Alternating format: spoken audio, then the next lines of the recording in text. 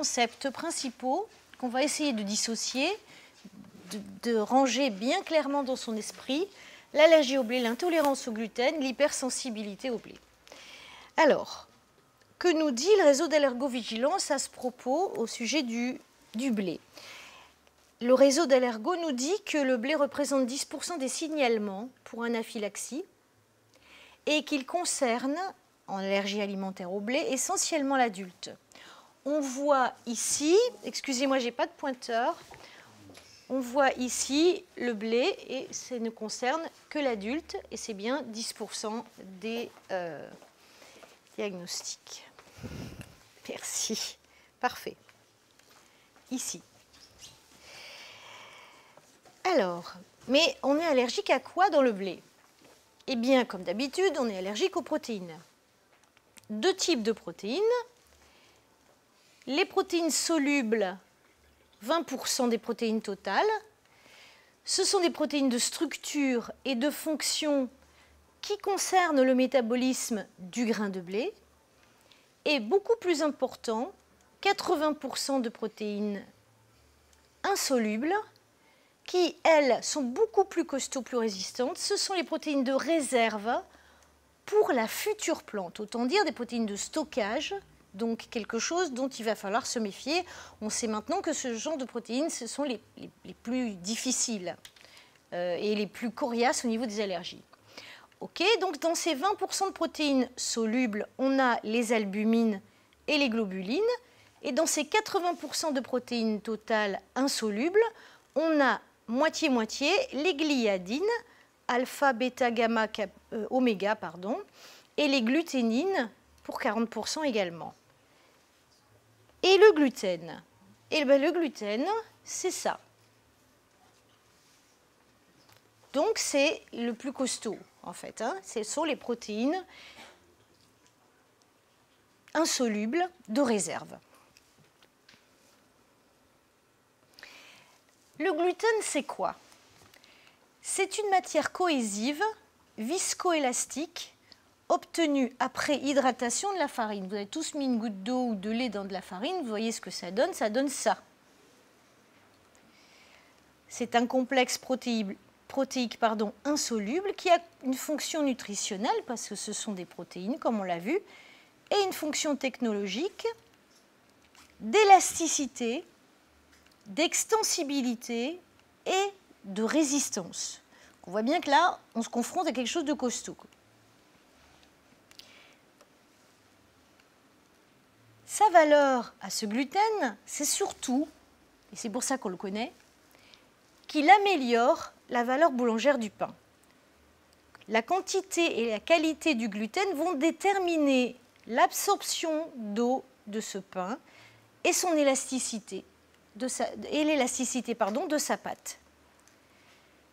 L'évolution va vers une sélection de variétés de blé contenant un gluten de plus en plus puissant, de plus en plus agressif également, malheureusement, pour notre intestin. C'est en fait le côté négatif de euh, cette évolution.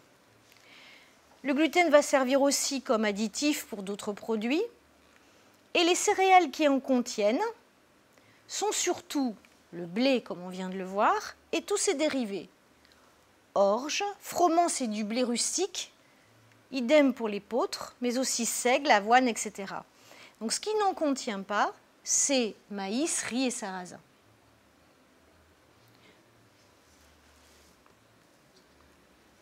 Deux grandes pathologies, donc, liées au blé.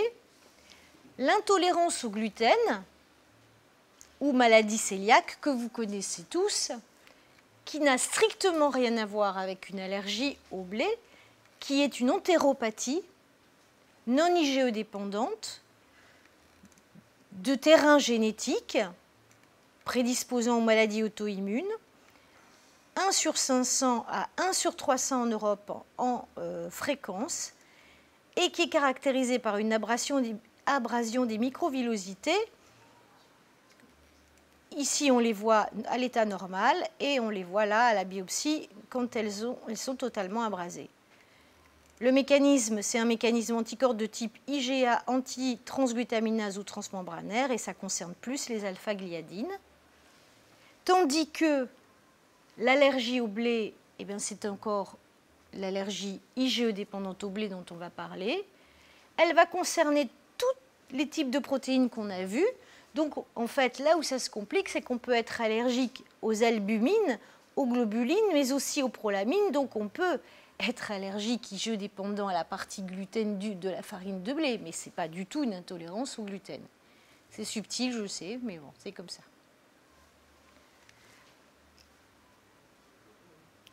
On ne peut pas parler de l'allergie au blé sans parler de l'anaphylaxie alimentaire induite par l'effort, qui est quand même très caractéristique de certains types d'allergies au blé. C'est une forme rare, moins de 0,1%, de l'allergie alimentaire qui survient dans un délai variable au cours ou au décours d'un effort, dans un délai de 30 à 120 minutes.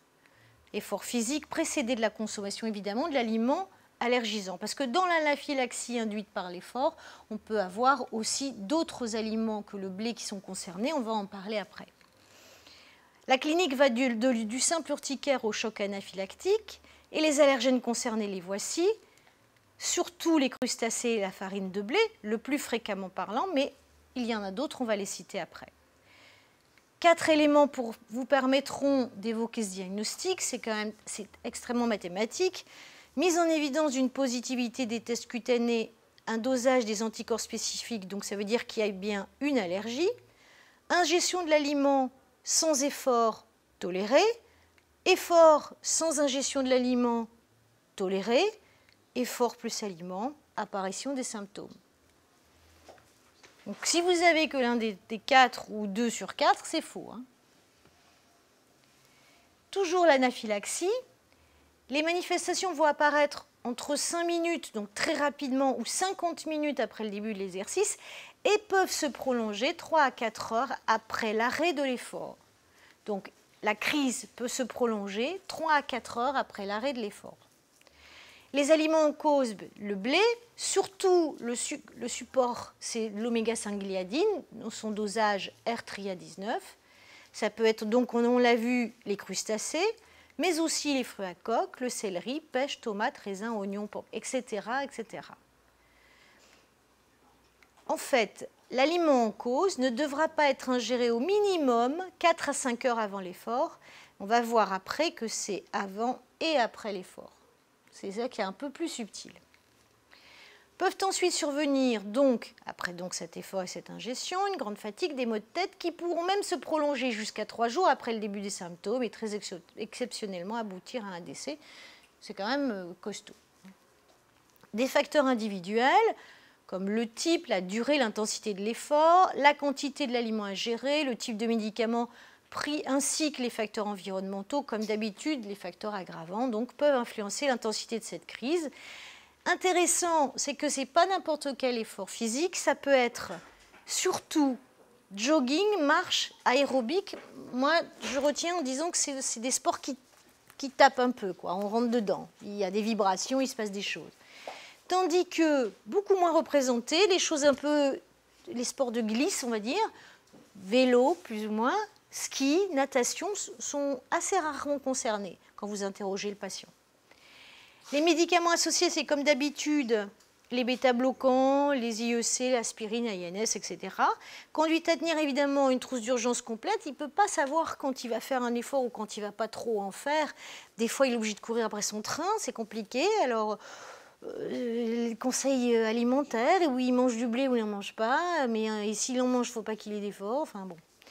En tout cas, il faut éviter l'association 5 heures avant et 5 heures après. Ça fait beaucoup. Il hein. ne faut pas entourer la prise de blé de 10 heures, enfin, faut pas entourer l'effort, pardon, de 10 heures de prise de blé quand on est allergique au blé induit par l'effort.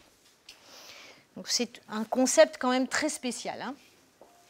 Et puis, c'est surtout ça dont je voulais vous parler ce soir, parce que vous allez me dire, ok, bon, la maladie cœliaque, c'est quand même très rare. L'allergie au blé, ben, c'est quand même assez ciblé. L'anaphylaxie à l'effort au blé, ben, ok, ben, c'est quand il y a un effort. Et puis alors, tous ces gens qui nous parlent du gluten, là, c'est quoi? Eh bien ça, c'est plutôt ce qu'on appellera, le troisième concept, donc, une hypersensibilité à la farine de blé. Ils ont quoi, ces, ces gens-là? Dont sans doute une partie d'entre vous font partie, d'ailleurs. Des ballonnements abdominaux, une maldigestion. C'est qui? Ben, C'est un sujet jeune ou moins jeune, en pleine, en pleine santé, c'est quand même pas du tout quelqu'un qui a une altération d'état général, qui, est mal, amaigri, ni quoi que ce soit. C'est même quelqu'un qui est tellement en pleine santé qu'il fait un régime souvent. Plus ou moins colopathe en base, enfin, vous savez bien qu'on est tous déstressés, qu'on a à peine le temps de faire du sport ou on voudrait toujours en faire plus, et que la principale conséquence à tout ça, c'est en général un ralentissement du transit. Tous ces gens-là, leur première réaction, avec les pubs à la télévision, c'est de prendre des fibres pour régulariser, accélérer le transit, type Olbran, Spécial K, etc. Mais qu'est-ce que ça fait? Ça, ça charge un maximum le travail de l'intestin. Ça fait mal. Ces gens-là, également, ils ont succombé un peu à la mode des pains type à l'ancienne, parce que c'est vraiment la mode, puis c'est très bon. Ils, sont faits avec des super gluten, donc en fait, ils sont, la panification est merveilleuse, la croûte est croustillante, la mie est super bonne, etc.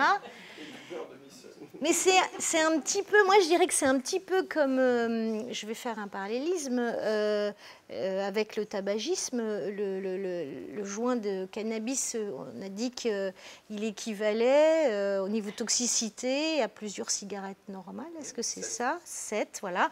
Moi je dirais là 4-5. En fait, une tartine de pain avec le gluten d'aujourd'hui, au niveau de la charge en gluten, j'entends, ça équivaut à 4-5 tartines d'avant. Alors imaginez bien que euh, si vous vous faites la moitié de la baguette, euh, ça fait mal quoi. Et alors, ce concept d'hypersensibilité à la farine de blé, ce sujet-là, il est en excellente santé, on est bien d'accord, puisque il fait un régime. C'est vous et moi en fait, hein, plus ou moins. Euh, ce qui n'a rien à voir avec la maladie cœliaque où la personne est quand même altérée. Et il n'y a pas de manifestation d'allergie aiguë IgE dépendante puisque ce n'est pas une allergie IgE et vous ne retrouverez pas euh, d'urticaire, vous ne retrouverez pas de manifestation inquiétante euh, allergique chez ce patient-là. Absolument pas. Je ne peux pas ne pas vous parler, alors c'est mon dada, vous allez me dire, je suis obsédée par ça, mais de la pathologie non IgE médiée, toujours le syndrome euh, d'entérocolite induite par les protéines alimentaires, il y a le blé à l'intérieur. Donc toujours se méfier quand tout est négatif et qu'on vous raconte des histoires pas possibles, toujours penser que ça peut être euh, ce genre de choses. Mais enfin, la clinique est tellement parlante que normalement vous ne devriez pas passer à côté. Et voilà, j'arrive à la fin de l'exposé de ce soir. L'hypersensibilité à la farine de blé doit absolument être un diagnostic d'élimination. On enlève la pathologie allergique, on enlève la maladie cœliaque. C'est un diagnostic qui doit être posé devant une symptomatologie clinique, cela dit toutefois rassurante, comme des douleurs, des ballonnements, une maldigestion, un inconfort abdominal. Comme vous voyez sûrement beaucoup, beaucoup de gens vous raconter ça et peut-être même que vous-même vous le ressentez. Après réalisation, ce diagnostic doit être posé après réalisation d'exploration immunoadaptée. Eh bien, évidemment, la fameuse maladie cœliaque avec ses dosages d'IgA transmembranaire transglutaminase, la biopsie surtout sans régime d'éviction parce que vous ne trouvez pas l'atrophie euh, des euh, villosités si vous faites un régime d'éviction, il y en a plein qui se sont fait avoir. Et puis vous pouvez faire sans et avec, évidemment, puisque ça disparaît et vous comparez. Les dosages pour l'allergie et surtout l'anaphylaxie induite, le dosage d'IgE farine de blé par le biais de R-TRIA19. On peut doser des IgE au gluten, on peut faire un prick au gluten, donc c'est une partie protéique à laquelle on peut être allergique effectivement, mais on, est bien d'accord qu'on ne parle plus du tout de maladie cœliaque à ce moment-là. Que la conduite à tenir, ben pour la maladie cœliaque, ça va forcément obligatoirement, dans un premier temps, tout au moins, rester de l'éviction. Moi, après, je passe la main euh, au euh, gastroentérologue. Il semblerait qu'il y ait certaines formes qui s'arrangent après l'adolescence, à l'âge adulte. chez le jeune adulte. Bon. En tout cas, on part sur l'idée, puisque l'enjeu est quand même important, puisque cette muqueuse, elle peut dégénérer à cause de ça. Et puis, pour l'allergie à la farine de blé, sachez que les protocoles de tolérance fonctionnent. Donc, on peut réintroduire progressivement la farine de blé comme une forme d'accoutumance, de, tolérance induite. Et que pour l'hypersensibilité, bah, franchement, on n'a qu'à autoriser des gluten selon la qualité de celui-ci, remanger peut-être parfois du pain un peu plus blanc ou ne pas en manger en quantité excessive savoir doser son ingestion de gluten en évitant les excès. Alors, il ne faut pas oublier les prix que, à la farine fraîche, quoi. Je veux dire que ça, vous pouvez faire. Les prix que standards, enfin, qui vous sont euh, confiés par les laboratoires, et puis les prix à la farine fraîche. Et vous faites à plusieurs types de farines. Vous faites toutes les farines que j'ai dit tout à l'heure. Ça, vous pouvez.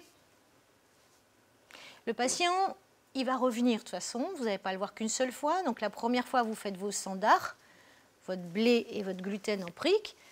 Il fait sa prise de sang et il revient avec plein de petits sachets de farine différents. Tu peux les avoir dans le cabinet. Hein, Ou bien tu peux les avoir dans le cabinet, mais comme après elles vont périmer, elles vont se remplir rien, tu vas être énervé. tu vois? Regarde, elles sont, elles sont ici, voilà c'est peut-être pas mal de lui dire de les ramener aussi. Mais tu peux en avoir, hein, mais tu peux pas tout avoir aussi. Enfin, tu, tu vois, tu, moi, moi j'en ai à l'hôpital, j'en ai plein, mais nous, on fait des, comme des petites boîtes de pêcheurs, des boîtes d'hameçons, là, puis dans les ronds, on met euh, toutes les farines et puis on congèle. Tu congèles tes oui. Ah, oui, on congèle les farines. Donc, on a une boîte avec du blé, une boîte avec du blé, de l'orge, du froment, des pots de seigle, avoine, mais on a dedans aussi sarrasin, riz, maïs et tout, on fait tout. Et puis un patient, on se dit suspicion farine, clac, on sort la boîte et on lui fait. Ça, à, échelle réduite, vous pouvez faire des tests, euh, des prick tests aux farines un peu dans l'eau. Avec une petite goutte d'eau, tu mélanges, ça te fait, ça te fait la panification. Là, de... Ça fait ça. tu es bien embêté avec ce truc pour priquer après, bonjour. Mais bon, voilà. Et ça te permet quand même... Et ta valeur prédictive positive, elle est meilleure avec l'aliment frais. Toujours, toujours. Hein. depuis le début là, de tout ce que j'ai dit, une goutte de lait, c'est mieux qu'une goutte d'extrait de lait. C'est sûr à partir du moment, et je répète encore, où la clinique est rassurante. En fait, il faut rester clinique. Et puis à partir du moment où on élimine l'allergie euh, parce que cliniquement c'est rassurant et que les tests sont négatifs, eh bien on peut conseiller aux personnes de reprendre des petites quantités. Parce que ça va comme ça, c'est clair. Hein.